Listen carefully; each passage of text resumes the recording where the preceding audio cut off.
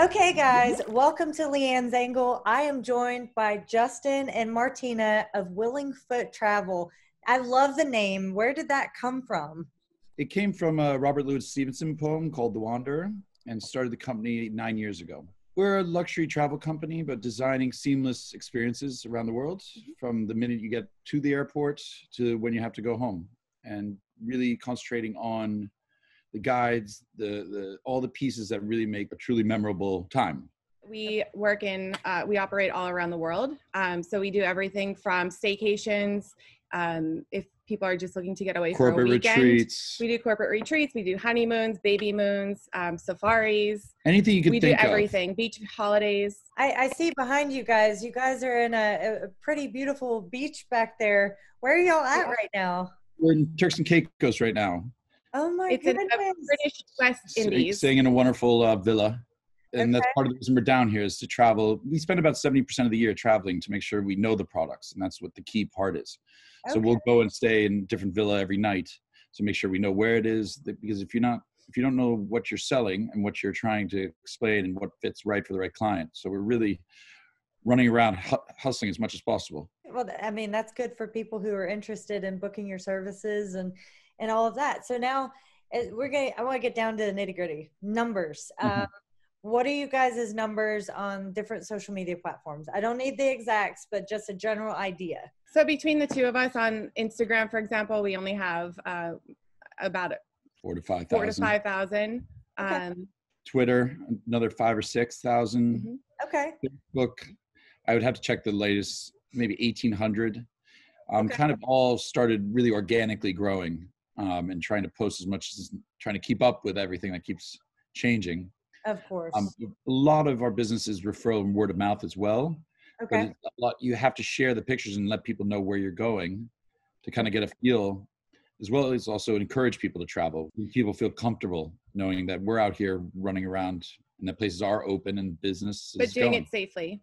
Of course And we also have our website. Um, so we generate a lot of business off the website uh, with leads as well. So people will go to the social media platforms and then they'll end up going to the website and putting through a request most times. Now, which one? What what platform do you guys think is the best for you? What what have you seen the most traction come from? Probably Instagram. Yeah, Instagram. And Just actually, because it's more visual. Um, so people are, you know, looking for a lot of photos, whether it's the hotels or the beaches or the pools, the surrounding areas. Um, using hashtags is also key.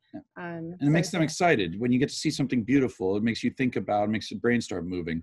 I think in the beginning, I would say 10 years ago, there was more coming from Twitter than Facebook because there were a lot of travel talks and such. But I think now with the visuals being so important and giving Right. context, because otherwise, without tone, um, at least with pictures, you can get a sense of tone of where you are, what you're doing, Correct. and it, it Yes. gets the ball moving. So what got you guys started with this journey? It's kind of a different way to to go about things and a different kind of business. So what encouraged you guys to do this? I think for myself, I, I grew up, I was lucky enough to grow up in travel. Um, my mother used to live in East Africa, film cheetahs. She started her own travel company. My father has another, another area of travel. And so I've been lucky enough to meet so many, so many different people and cultures and spend my whole life traveling. So I wanted to share that with people because I think what's important is to, when people start to give back to other communities and learn, but as well enjoy. And for me, um, I would say I started in the industry. Um, I've always loved traveling. I studied abroad uh, for a semester when I was in college. Right. And I started straight out of college at the age of 22 um, for a very high end luxury hotel representation um, company, Okay. uh, French based. And from there, I kind of grew uh, my business, my book of clients, and I've uh, moved around to various companies to, um, again, for that personal and professional growth and we met each other um, and we've been together now for nine years so Oh, Right when we started So, the company almost. yeah almost when he started the company so now we are working together um, and just building out the brand as we go organically as justin Yeah, mentioned I really like building things organically and, and through talking to people and sharing and I love meeting people. I love seeing new places and new way people are being creative and what whether it's protocols now with pandemic or how people are changing with technology in the rooms or where you know, what kind of outlets there are and what kind of technologies are on the TVs and Sonos and all these pieces. I love all putting all the pieces together together to make a perfect, you know, make sure you change someone's life. The younger demographic that are traveling are really interested in a lot of the cultures and learning from people and moving around. Very true. And so there's a different place for everyone and a different style, which is nice everybody sees us in beautiful pictures, but it doesn't mean we're staying in that presidential suite. It means we're seeing it. For and we, we a lot of times don't even get into the pool because we're running around so much. So it, it but we love it because you're meeting new people and seeing incredible places and get to share that, exactly. especially with the younger kids and with families and right. so they all grow with it. Now, like I'm sure with with all of that different having a different lifestyle like that, there has been some failures. Like, what have you guys experienced as far as failures have been concerned? Failures is kind of a tough word, but I think you know whether it's flights being delayed or canceled or a volcano erupting in Chile, or you then have to navigate the waters as best you can. I mean, this pandemic is a perfect example of it. You, you got to you know work on the run and really adjust where you need to and make sure that you're taking care of every piece along the way and your clients because it's everybody's it, it affects everyone you've had, you know, when you have issues with someone losing a passport, for instance. Oh, How do you get them to replace it and be able to get going and not get stuck? I wouldn't call anything necessarily a failure as long as they can enjoy the rest of it. So then what about your successes? I'm sure you obviously are doing something right. You have a beautiful background. I want to be there personally right now. So what what have your successes been? Um, I would say just, you know, moving forward through challenges that have come up over the years, um, being in the industry for the amount of time that we both have, um, creating seamless travel itineraries for clients is basically what our strengths are. I think navigating the waters. I think being on the pulse of what's going on. Mhm. I think constantly building the knowledge base and the and the contacts that we have, and why we have almost a 95% return rate and referral rate. I mean, because we're very transparent. Um, we'll say exactly and be blunt and talk about what it, whether it's budget, which is never fun to talk about always, and or really being able to read the client and know, okay, here's where you should go next, and this is why. And once they trust you, that's the best part. I'm WhatsApping and texting with clients constantly when I'm traveling somewhere because they say, oh, I see this, and this is going to be perfect for you.